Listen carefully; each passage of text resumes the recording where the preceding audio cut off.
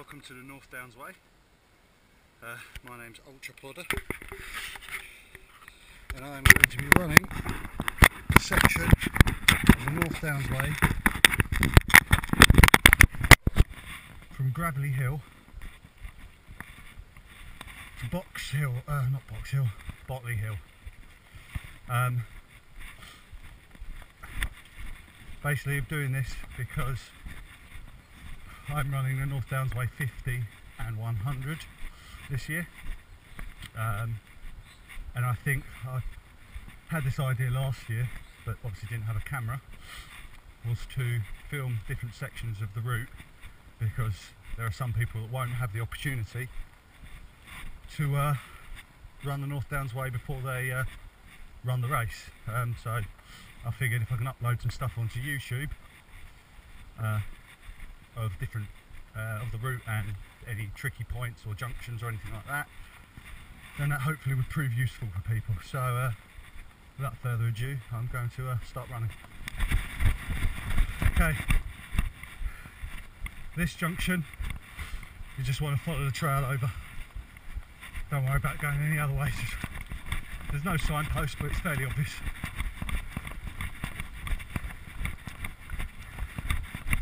again here straight on, avoiding the mud if possible.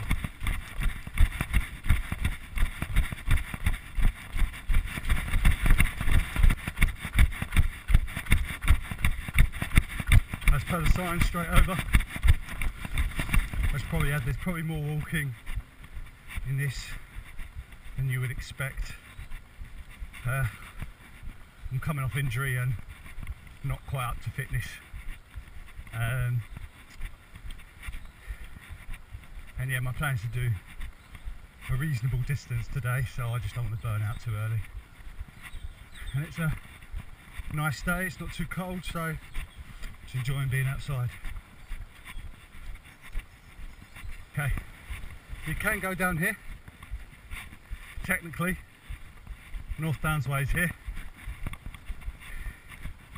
Really doesn't add much either way but for the completionists in you This is the North Downs.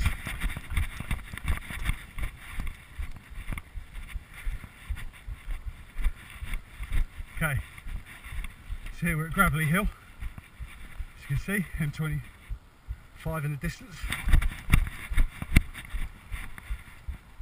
I think, yeah. Um, so, the checkpoint last year was just there just over there. Um, I've been lost here before by taking a wrong turn in, misreading the map and going off up the road. Um, actually, what you want to do is just carry straight on in between those two the path continues. Not so difficult, not too difficult to see in the winter. In the summer, however, when there's leaves and shit, it kind of gets blended in and disappears.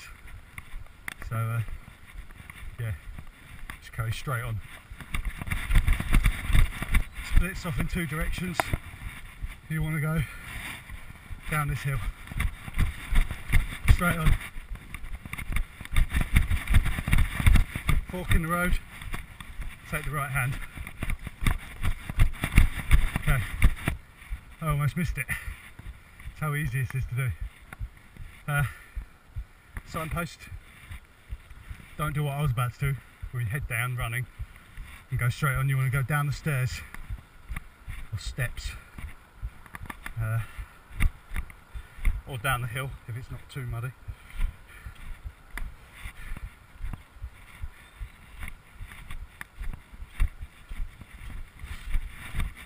And there's some more steps.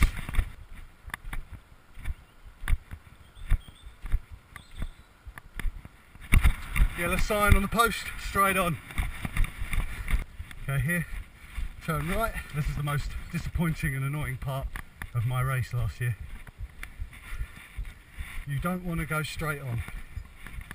However uh, enjoyable that casual, gradual downhill looks, it's not the right way.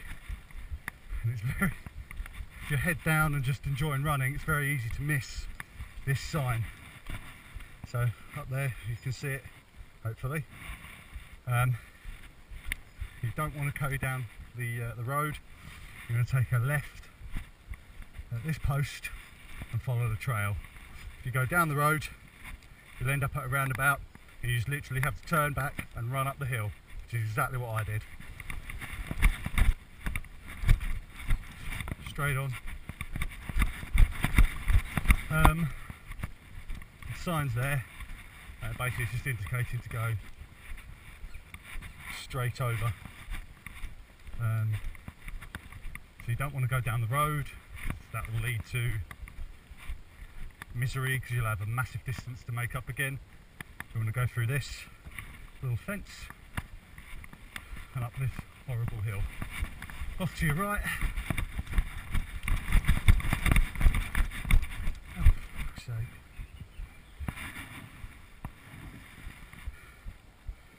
That's not good, is it?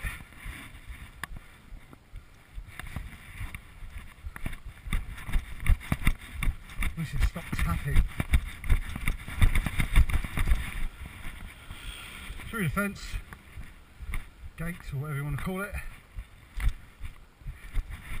Okay, we can go over the road, straight back onto this muddy, Right. muddy trail through the gate. Uh,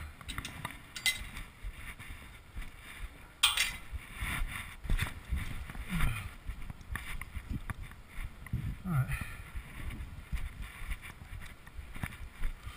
Homemade energy gel. Apples, pears, sugar, salt, a bit of water.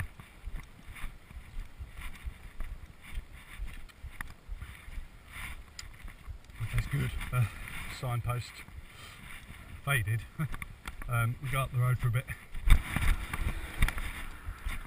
Uh, then off following the balloon sign. So parallel with the road. So so we go right. You end up following North Downs and the Woldingham countryside walk. Oh. Here we go. I think. I just. No, okay.